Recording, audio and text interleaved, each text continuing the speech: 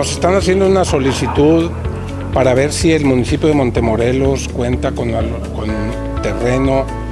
que se pudiera usar, ya sea pues, en comodato o donación, para que se pudieran establecer facultades de la Universidad Autónoma de Nuevo León. Entonces, ahorita se propuso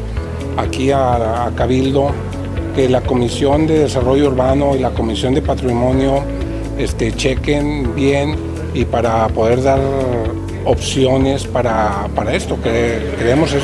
de bastante beneficio para toda la, la región,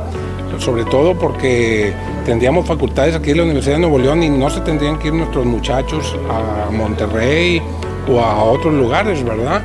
Entonces la comisión, las comisiones van a checar para poderle dar una respuesta, que creemos que es de bastante beneficio aquí para nuestro municipio.